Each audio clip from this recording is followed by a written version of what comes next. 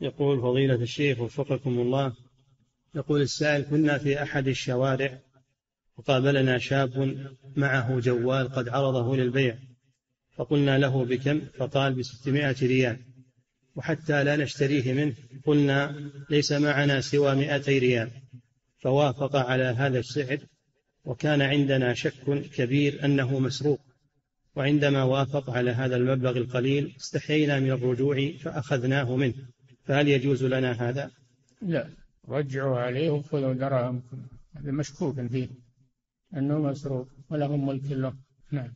كيف يتنازل من 600 إلى 200 نعم. هذه تهمة قوية. نعم.